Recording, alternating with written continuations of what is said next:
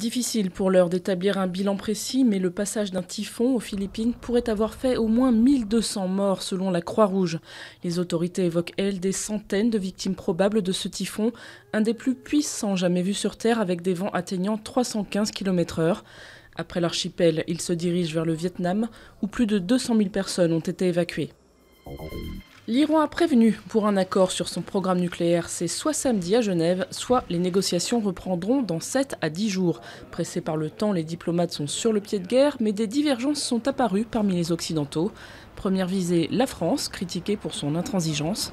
Paris demande à Téhéran un engagement plus fort sur certains volets de son programme nucléaire, susceptible d'avoir une vocation militaire.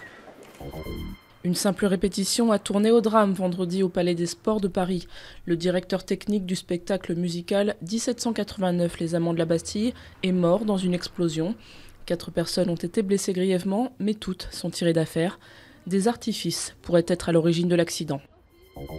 Il a attendu de revenir chez lui, en Martinique, pour prendre la parole.